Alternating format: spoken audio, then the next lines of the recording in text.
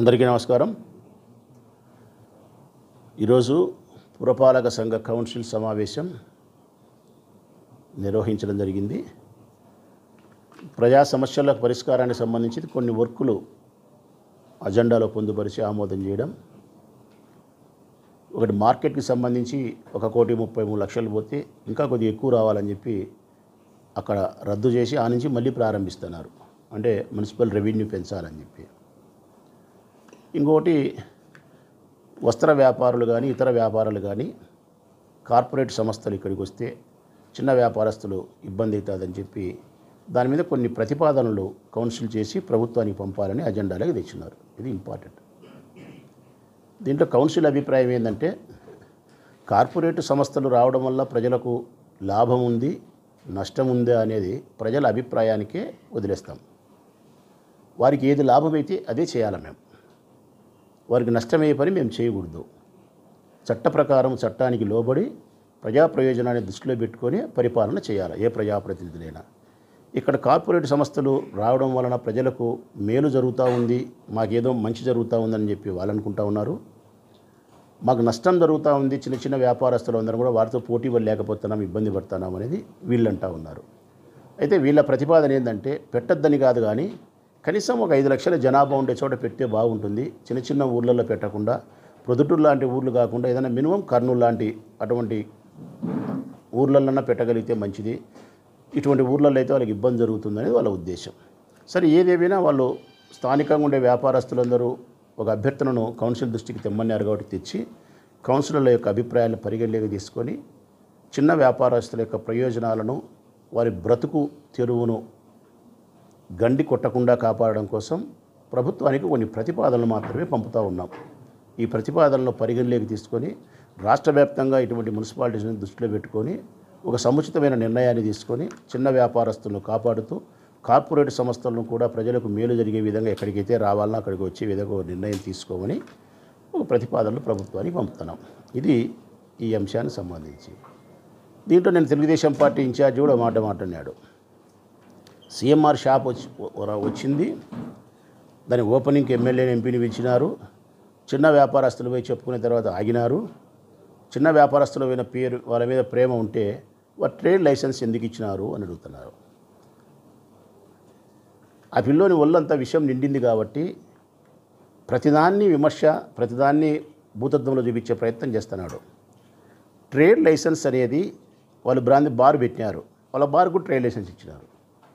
Veerabhadra bar and restaurant అనుకుంటా వాళ్ళది Telugu Desam party in charge Praveen Kumar రెడ్డిదేది.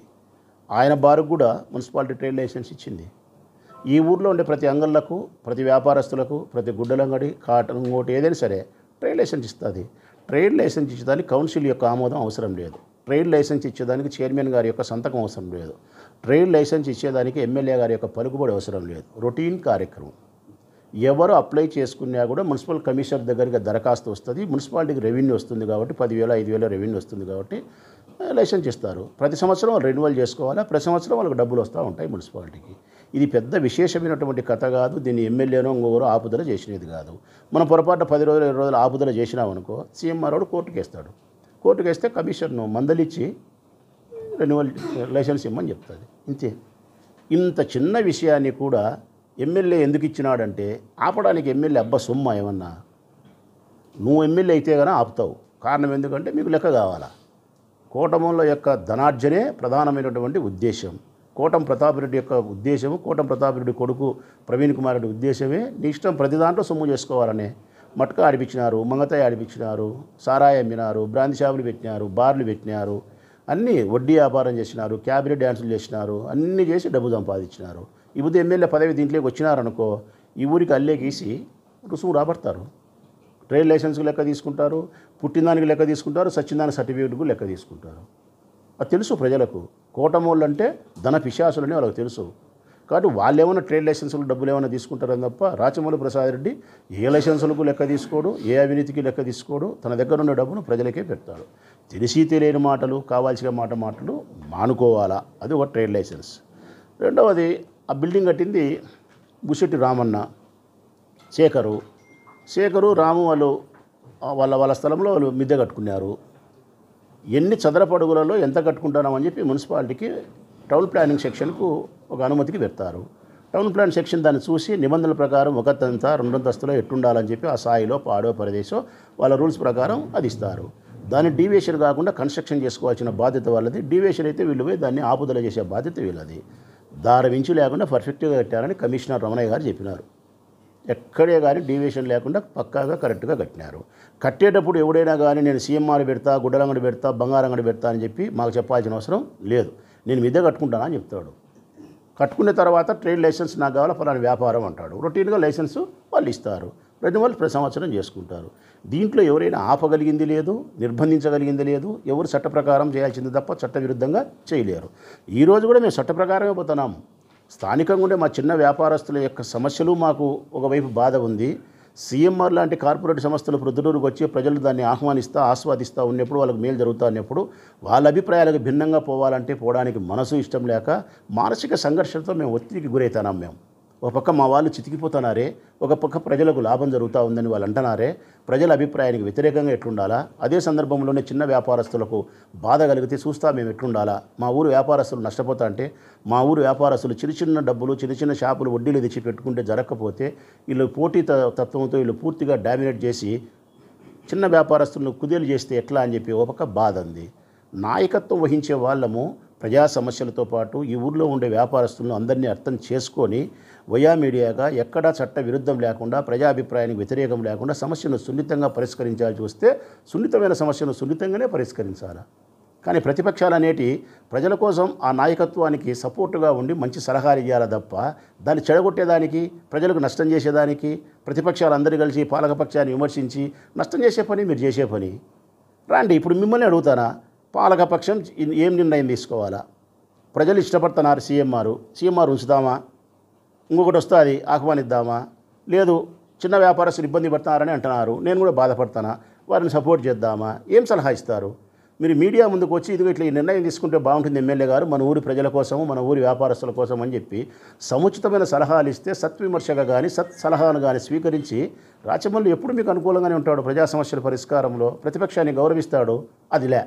Trade licence ఇచ్చి trade licence లెక్క ఇంకో చీప్ ఇవన్నీ జస్ట్ జిమిక్స్ సర్కస్ ఫీడ్స్. రాజకీయాలలో సర్కస్ ఫీడ్స్ కుదరవు ప్రవీణ్. ప్రజాసేవ చేస్తేనే నీతివంతంగా ఉంటేనే ఓపెన్ హార్ట్గా నిజాయితీగా ఉంటేనే ఎప్పుడైనా వర్కౌట్ అవుతుంది. నా దగ్గరికి వాళ్ళు వచ్చినది రేపు షాప్ ఓపెనింగ్ అని ఈరోజు వచ్చినారు కన్స్ట్రక్షన్ చేసేటప్పుడు నాకు తెలియదు. షాప్ పెట్టేటప్పుడు నాకు తెలియదు. సిఎంఆర్ బట్టలంగా అడిగి దాని ఆ ఆ బిల్డింగ్కు అడ్డం కప్పింటారు కదా ఏదన్నా కనపడకుండా దిష్టి తగులుతుందని. అది తీసేంత వరకు నాకు తెలియదు. తీసిన తర్వాత రేపు ఓపెనింగ్ అనగా ముందు రోజు నా దగ్గరకు వచ్చి నన్ను పిలిచినారు. వాళ్ళు పోయిన తర్వాత అర్లీ మార్నింగ్ ఏడు గంటలకు ఎనిమిది గంటలకు బట్టల వ్యాపారస్తులు వచ్చి ఇట్లా వాళ్ళు వ్యాపారానికి సీఎంఆర్ వాళ్ళు మిమ్మల్ని పిలిచినారు. మేము స్థానిక వ్యాపారస్తులు ఇబ్బంది పడుతున్నాం మా మీద ప్రేమ ఉంటే నువ్వు పోవద్దన్నా అని అడిగినారు. నాకు వాళ్ళ మీద ప్రేమ ఉంది కాబట్టి నేను పోలే నిరాకరించింది అంటే నాకు తెలిసింది ఒక్కరోజు ముందు. వాళ్ళ లైసెన్సు ఇంకొకటి ఇంకొకటి ఏమీ తెలియదు. ట్రేడ్ లైసెన్స్ అనేది అయితే వీరభద్ర బార్ కూడా ట్రేడ్ లైసెన్స్ ఇచ్చినాం కదా. మరి వీరభద్ర బార్ లైసెన్స్కి మేము ట్రేడ్ లైసెన్స్ ఇవ్వకూడదు కదా. ప్రవీణ్ కుమార్ రెడ్డి అది బార్ అయినప్పుడు మా ప్రతిపక్ష పార్టీకి సంబంధించిన నాయకుడు అయినప్పుడు మేము ఆపాలి కదా. మీరు ఆపలేదే? ఈ ఊళ్ళో చాలామంది అంగళ్ళు ఉన్నాయి. చాలామంది తెలుగుదేశం పార్టీకి సంబంధించిన వాళ్ళు ఉన్నాయి. వాళ్ళందరికీ ట్రేడ్ లైసెన్స్ ఇచ్చినాం. ఆపినామా వాళ్ళు ఎవరైనా లెక్క మాకు కట్టినారా? ఎన్నికలు సమీపం అయ్యే కొద్దీ అబద్ధాలకు హద్దు పద్దు లేకుండా పోయింది తెలుగుదేశం పార్టీ నాయకుడిది.